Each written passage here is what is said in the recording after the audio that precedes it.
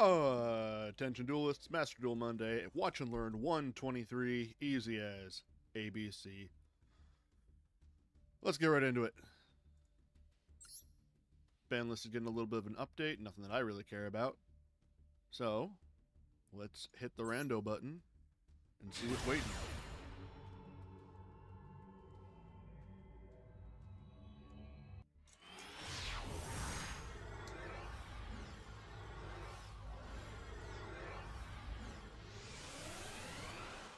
Hope y'all are doing a-okay.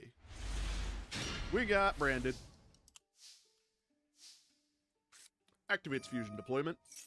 Opponent activates Max C in response. Let's see how far Duelist A takes this. Deployment showing Granguignol, bringing out Blazing Cartesia. Normal summon Aluber, adding Branded in High Spirits to hand. Activate Branded in High Spirits. Fallen of Albaz is shown, sending away Albion.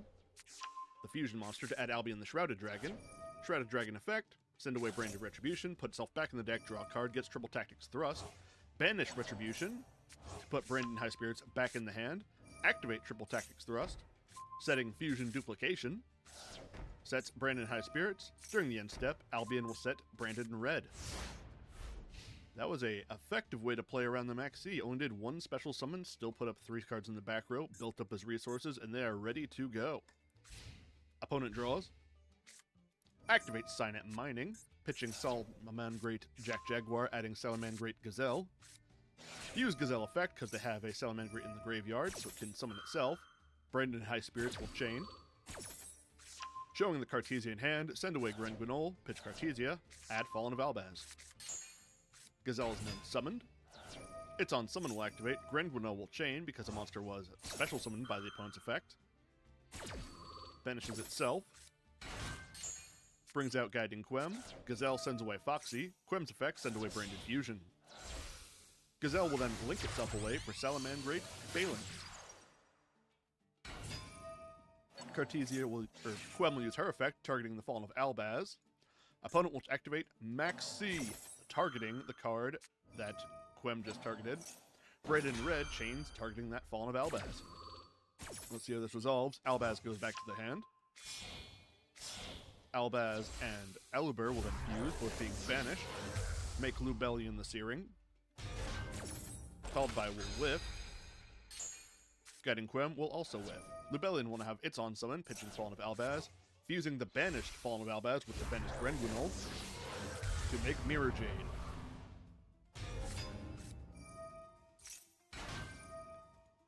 Player uses Code of Soul uh, because they control Link monster that can summon it. Then they can activate its effect to they Link summon a Salamangreat monster. They can use one Salamangreat Link monster with the same name, so it is essentially a stand-in for the field spell. Phalanx and Code of Soul will then make SP Little Knight. SP will activate its effect, targeting Mirror Jade. Mirror Jade will chain, send away Rindbrum. And Little Knight will chain to that, targeting Cartesia. And Cartesia will chain to that, with her own effect to fuse. Cartesia will fuse herself with Mirror Jade to make Granguignol. Little Knight will whiff. Mirror Jade will then banish Little Knight. Little Knight initial effect then whiffs. Granguignol will send away Albion, the fusion monster. Player activates Salamangreat Sanctuary. Activates Foxy effect. Mercourier will chain. Mercourier negating Foxy. Salamangreat pairs board wide open except the field spell. Activates Fusion Duplication, which will activate Branded Fusion from the graveyard, using Lubellion and Albaz for a new Mirror Jade. Plays in Cartesia effect, puts herself back in the hand. Albion effect, add Branded in White to hand. Rindbrum effect, put Fallen of Albaz on the board, banish itself. Branded player, Blazing Cartesia effect, summon herself for having Fallen of Albaz, lethal on board, swing Mirror Jade, swing Granguignol, swing Cartesia, and Quem for game.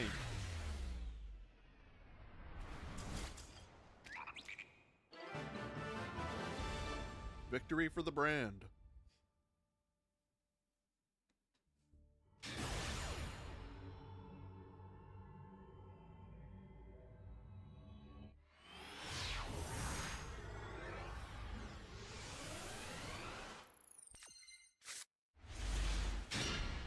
Naturia Runick. Opponent on Labyrinth summons Arianna, adding Stovie Torbie. Use Stovie Torbie effect, pitching itself and Arianna. Set Big Welcome Labyrinth. Set three more, four back row total. Pass turn. Naturia player draws for turn. Opponent activates Power Sink Stone. Each time a monster effect is activated, put a Spellstone counter on it. When it has two counters, neither player can activate the effects of face-up monsters on the field and negate the effects of face-up monsters on the field. Once per turn during the end phase, if this card has any Spellstone counters, remove them. What a strange card. Duelist A activates Runick Slumber. Labyrinth player activates Welcome Labyrinth in response. Welcome Labyrinth, summoning the Lady Labyrinth. Slumber, summoning Hugin. Hugin's effect will activate, pitching Runic Sacred Tree. Not Runic Sacred Tree, Naturia Sacred Tree. Its effect will then activate for being pitched, which will then let them add a Naturia card from deck to hand, except Sacred Tree. And also Hugin's effect got them Runick Fountain. They add Naturia Blessing. It's in the standby phase still. Summon Naturia Camellia. Big Welcome Labyrinth will chain. Lady Labyrinth will chain to Big Welcome. Lady Labyrinth sets compulsory evacuation device. And two counters have now been placed upon the Power Sink Stone, so monsters do not have effects. And then Arianna is returned to the hand, and Arias, the Labyrinth Butler, is summoned in his place. Camellia's effect is negated. Stovie Torbie in the Grave will summon itself back for a trap bouncing a monster. Runick Fountain is activated. Trap Trick is activated in response to the fountain. Trap Trick, send away Dogmatika Punishment, setting a new one. Activates that Dogmatika Punishment, targeting Hugin, send away Entis. Hugin's effect, when it was destroyed, will put it back in the extra deck. Entis effect, when it went to Graveyard, target Runick Fountain to destroy that. Player activates Runick Destruction, targeting the set compulsory activation device, banishing four. Then activates Naturia Blessing, letting them summon the Naturia Sunflower in their hand. Sinks the two monsters on board for Coral Dragon. Sets another Naturia Blessing. Their battle phase is skipped thanks to runic cards. And then the counters are removed from the Power Sink Stone. Passing turn. Labyrinth player turn, activate Naturia Blessing during the standby phase, summon back Camellia. Camellia effect, send away a Sacred Tree. Sacred Tree effect, getting Mole Cricket. Opponent's turn, monster to attack mode. Butler swings over Coral Dragon. It was sent to graveyard, so they get to draw a card. Lady, Lady Labyrinth then swings over Camellia, and this is just the card they need off the top, getting an evenly matched. Not activating it, though. Why? During the end step, Power Sink Stone will remove its counters. Stovie Torbie and Arianna will be sent to graveyard, allowing the player to set a Labyrinth setup. Passes turn. The Naturia player moves to battle, ends the battle, activates evenly matched. Lady Labyrinth will chain to set one normal trap from the deck, setting a big welcome. Evenly matched will then send away everything except for Power Sink Stone. Player summons Mole Cricket. Power Sink Stone has to remove its units. Passes turn. Player summons Arianna. Mole Cricket will chain, tributing itself. Summons Camellia and a new Mole Cricket. Arianna adds Arias. Moves to battle. Arianna swings over the new Camellia. Labyrinth player sets one. Power Sink Stone does the thing. Player draws Smiting Storm. Summon Camellia. Camellia send away Sacred Tree. Tree effect. Add Naturia Blessing. Sync their monsters together. For Naturia Beast. When did you get an animation? Mole Cricket was sent in the graveyard. Summons itself. Moves to battle. Swings. Opponent will banish Big Welcome to bounce Arianna.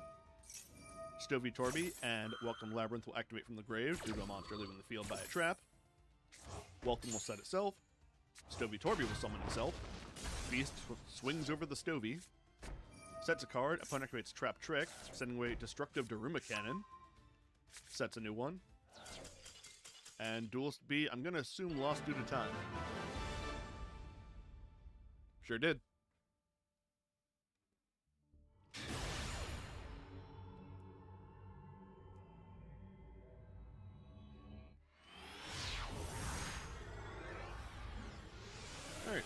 Let's see if this next match actually ends. Oh, good god, it's Runick Stun. Opponent activates Nadir's Servant, send away Garura, adding Ecclesia. Garura says draw card.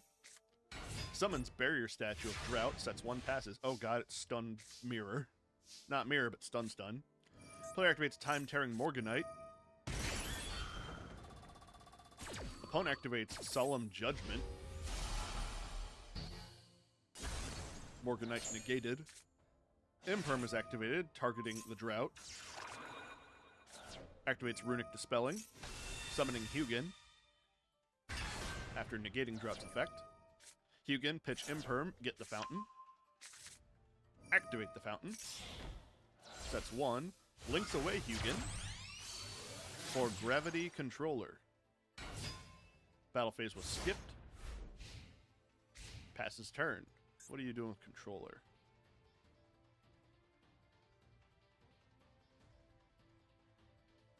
Can't be destroyed unless it's by a monster in the extra monster zone.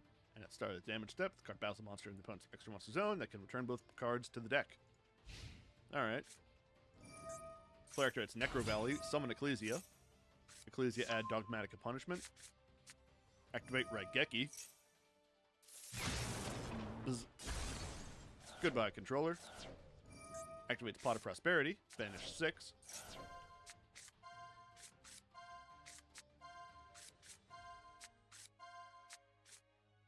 Adds Decisive Battle of Golgonda. Activates Decisive Battle. Moves to battle, swing with Ecclesia, and the Barrier Statue Drought. Half damage thanks to Pot of Prosperity. Sets another card, passes. Summons Inspector Boarder. Opponent activates Dogmatika Punishment. Runick Golden Droplet will chain, letting the player draw four, draw one, and banish four. Entis is sent away.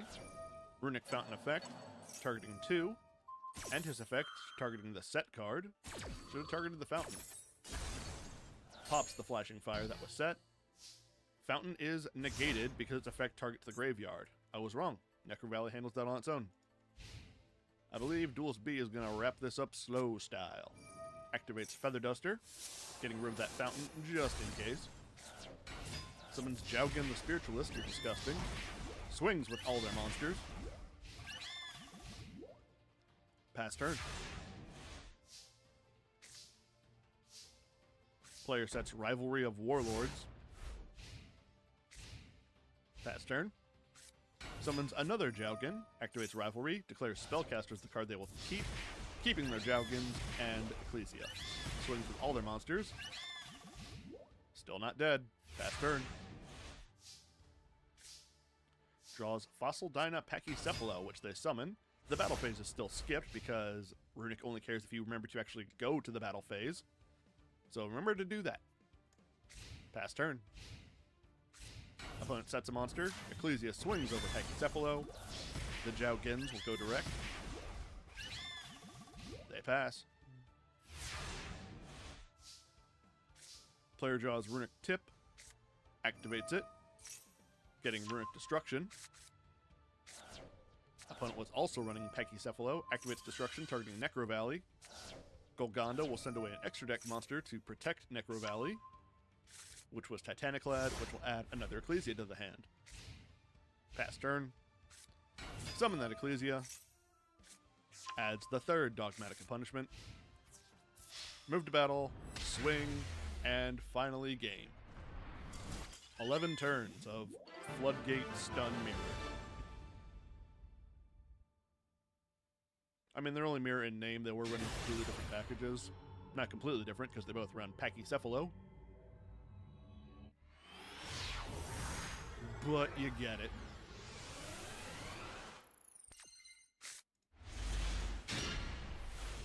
Yubel. Opponent sets two and passes. Player draws Sharvara. Activate Piri Reis map, getting Beckoning Beast, half their life points. Summon the Beast. The Beast adds Opening of the Spirit Gate. Activate the Spirit Gate. Spirit Gate add another Beast. Activates Nightmare Throne, getting Spirit of Yubel to hand. Spirit of Yubel return to the deck, as is Beckoning Beast to summon Phantom of Yubel. Dark Beckoning Beast, allowing the additional summon of Samsara D Lotus. Upon activates Runick Freezing Curses, targeting Phantom. Unchained Soul of Sharvara will chain, targeting Phantom as well. Pop the Phantom, summon itself. Freezing Curses misses target. Nightmare Throne will then activate. Max C will chain. Maybe should have done that sooner. Spirit of Yubel is added. Opponent activates Super Poly, pitching Prayers of the Voiceless, fusing Samsara D and Dark Beckoning Beast, making Garura. Yubel player passes turn. Duelist B draws, activates Barrier of the Voiceless, which will add Lo. Summon Lo, Lo effect, placing Radiance of the Voiceless face up in the zone. They'll return a card from grave, and then they get to add another card. Card they added is Saphira Dragon Queen of the Voiceless Voice. Uses her effect, pitching herself. Send away Prayers of the Voiceless to add Skull Guardian, Protector of the Voiceless. Saphira effect, Banish Self, Tribute Lo, allowing for the technical ritual summon of Skull Guardian. Skull Guardian effect. Lo will chain because a light ritual monster was special summoned. Lo comes back to the field. Skull Guardian add Saravis, Dragon Sage of the Voiceless. And then return some cards from the deck, not the deck, the graveyard to the deck to special summon Saravis. And then Saravis and Garura will make SP Little Knight. Little Knight effect, target the Spirit Gates. Garura went to grave, its effect will activate and draw a card. Spirit Gates is banished. Player sets one. Battle phase is skipped, though, thanks to them trying to activate a runic card. Passing turn, Effect Veiler is drawn, activates Piri Reis map, adding Samsara D, go down to 2,000 life points. Return Beckoning Beast from grave and Spirit of Yubel from hand to summon Phantom. Summon Samsara D, tribute it to summon a Spirit of Yubel. Spirit of Yubel effect. Little Knight will chain. Phantom will chain, tributing itself to negate Little Knight. Called by the Grave activates, targeting Phantom of Yubel. Called by will resolve, which means Phantom will not resolve.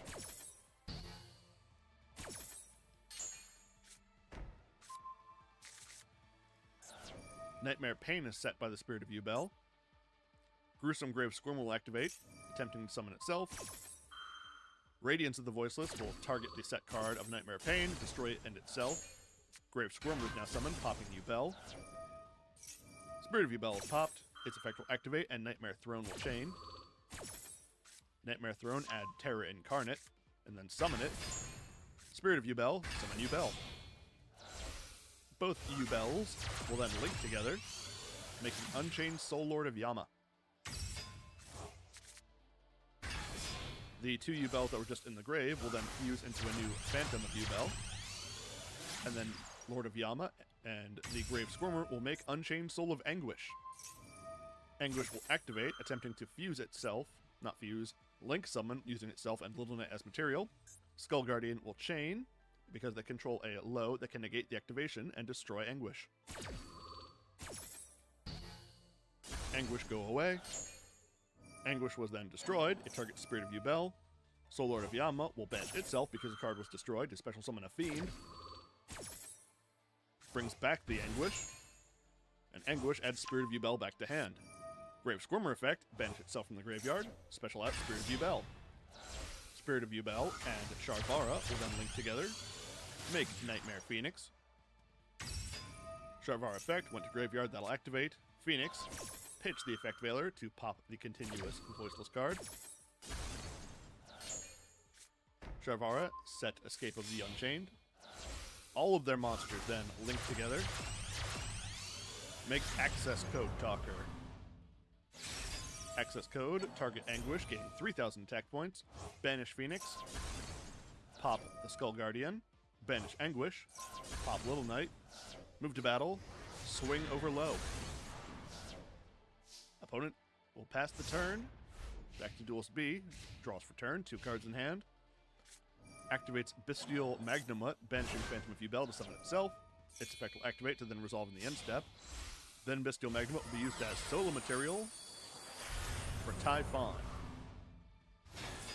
Typhon effect, detaching one material, bouncing access code. Then swing the face, and face is the place. Duelist B will take it.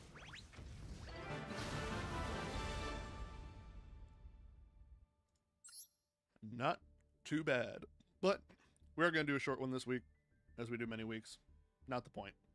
But not overall, some pretty enjoyable matches. And keeping it short means less mirror matches, or continuing to just see the same decks over and over and over and over. But that'll be the end of this week's installment of Master Duel Monday Watch and Learn. If you caught the stream, thanks. Catching the replay, thanks for that too. Bye.